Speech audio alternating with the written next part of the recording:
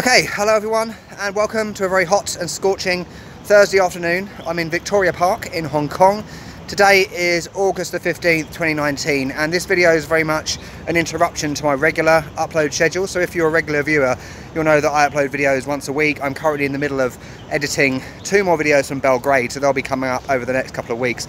But the reason I wanted to upload this one now is the fact that what I'm going to talk about is a very current and relevant issue, and perhaps if I uploaded this in a few weeks, it would no longer be relevant to you, okay? Right, I found somewhere to sit down. We've got these lovely golden horses in the background. Apologies in advance. I will be mopping my brow throughout this video because it's absolutely sweltering right now. Now, as you've seen in the thumbnail, this video is all about is Hong Kong currently safe in August 2019 for foreigners slash tourists? And rather than babble on for 10 minutes about it and then give you the answer at the end, I'm just going to tell you right now what my current opinion is as of today in real time. Right now, on the whole, I do feel safe in Hong Kong. What I will say about it, and I'll go into a bit more detail about it in a moment, is that if you are not actually involved in something in a country that has these issues, you generally won't be affected. You know, think of it like when I was in Mexico in Acapulco or when I was in Colombia in Medellin. If I'm not actually involved in, you know, drug cartels and drug crime, I'm not generally going to be affected by crime. Obviously, there's exceptions, but that's how I feel currently in Hong Kong.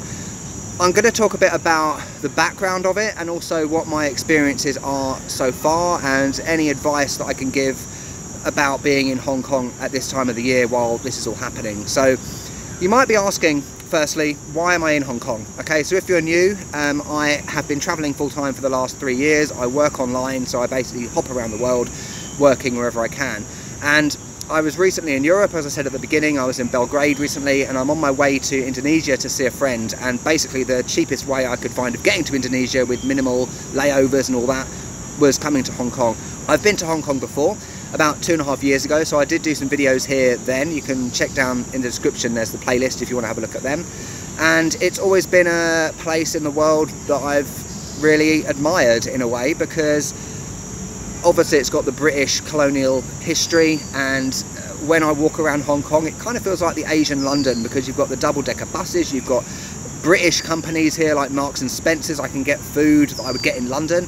And also I've got some students on italki, I teach English online, um, who are from Hong Kong and they speak very passionately about British colonialism and they're passionate about British English and, and things like that. And one of them, Theon, who might be watching this, I talk to regularly about the issues that are going on right now. So that's why I'm in Hong Kong. So what is the background of it, if you don't know? It, it feels like it's not covered in the media all over the world because I've had many subscribers, many of you, and also on Instagram, messaging me since I've been here, you know, am I okay? Am I safe? Like worried about me. Firstly, thank you for that because that's really nice. But I wanted to go into a bit of the background just so that you know. Obviously, I'm not an expert, all right? It's just from what I've been told and from what I've seen and, and things like that. You know, media isn't always reliable. We know that. Basically, a few months ago, an extradition law was introduced by Carrie Lam, the um, CEO of Hong Kong, and that's how it started. It started with peaceful protests, as in Hong Kong residents don't want that bill to be passed because it could involve any criminals being extradited to China where it's a different legal system, things like that. So it started with peaceful protests, but it, it's escalated in recent weeks. So it's got to the point where the protesters are not as peaceful as they were and they want the resignation of Carrie Lam, they want people that have been protesting who are now being classed as rioters to be exonerated effectively and also the most serious thing, I think, in my eyes, is about, and I'm going to be, I don't want to be political, but I'm going to use the word alleged, just to, so I don't get in trouble, alleged police brutality and abuse of power.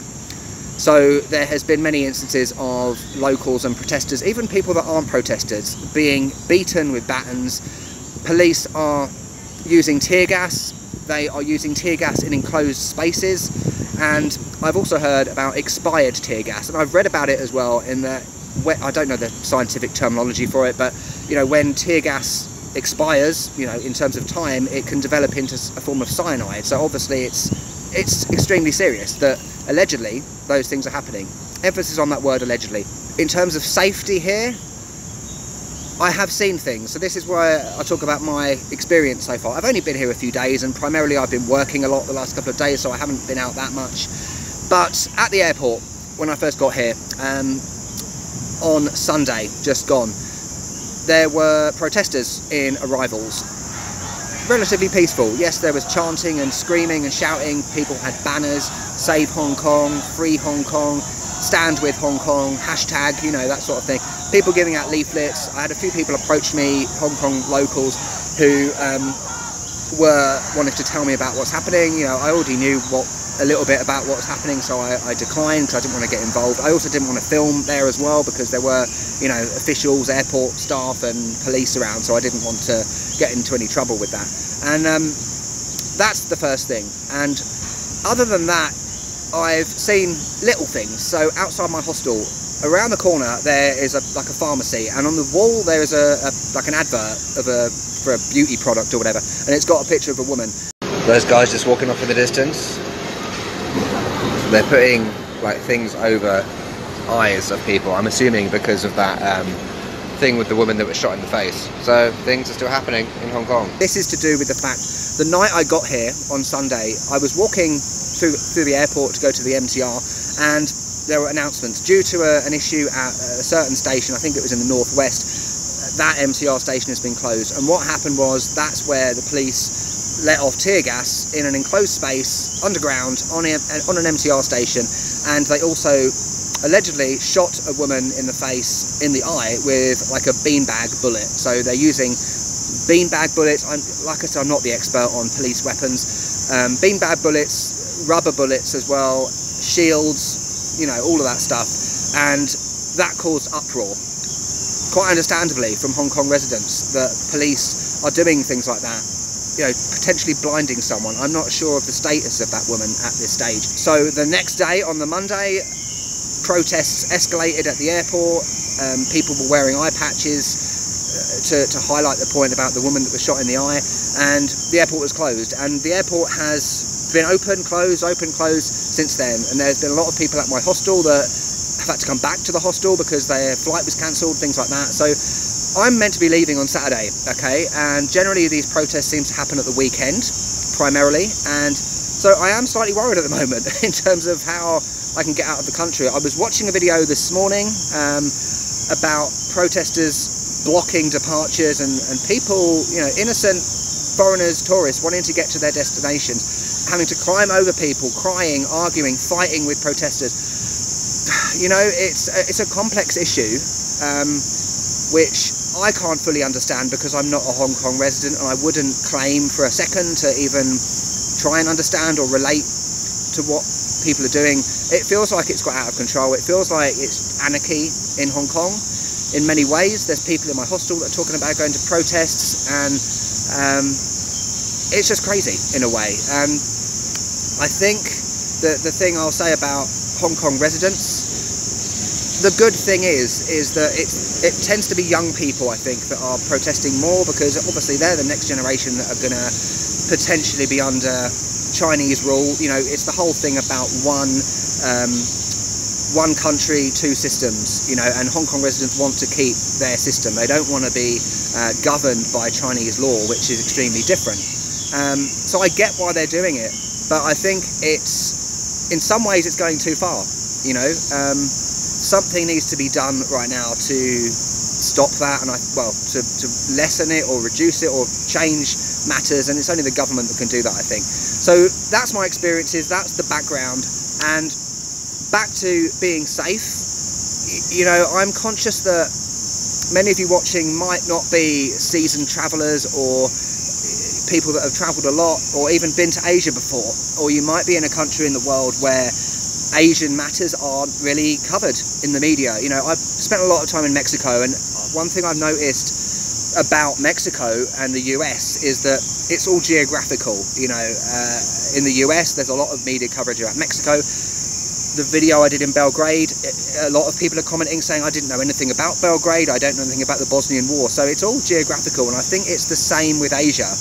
So perhaps the media in the US, and I know many of you watching will be from the US, I don't know if the US media is covering what's really happening in Hong Kong. So um, you might not be necessarily aware of safety and things like that. But I think the biggest advice is just go about your business as you normally would and just be wary. You know, don't get involved in any situations that you don't need to be. You know, you're not a Hong Kong resident, so you know what is the point?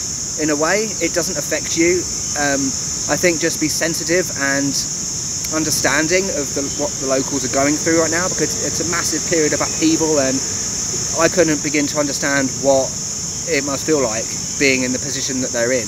Um, it's quite scary in a way, and I, I, dread to think how this could escalate further. So um, I hope this has kind of put your mind at ease in terms of coming to Hong Kong if you are planning a trip very soon. Just keep up to date with news, updates from the airport, our flights actually flying, things like that, and you know, speak to locals. If you're, you know, if like me, you're staying in a hostel, that's great because you can talk to a lot of locals. Um, even if you're in a hotel, you know, you can talk to hotel staff. You know, are there protests happening today? Just keep out of the way of it. That's the best thing to do. You know, I, I might be investigating anything like that coming up in the next couple of videos because that's what I do. I'm a YouTuber, so that's an exception. So I, I will put myself in that position willingly. I understand the risks, um, but I'm not saying that you should. Okay, so I hope this has helped. Um, up next, like I said, there'll be a couple more videos from Belgrade, and then we'll be on to a couple of videos from Hong Kong before we reach day 1000 let's be happy and positive you know i'm reaching 1000 days of travel in three days i'm heading to indonesia to see my friend rafi i cannot wait um, let's hope i get out of hong kong lovely. Thanks for watching and i'll um, see you next time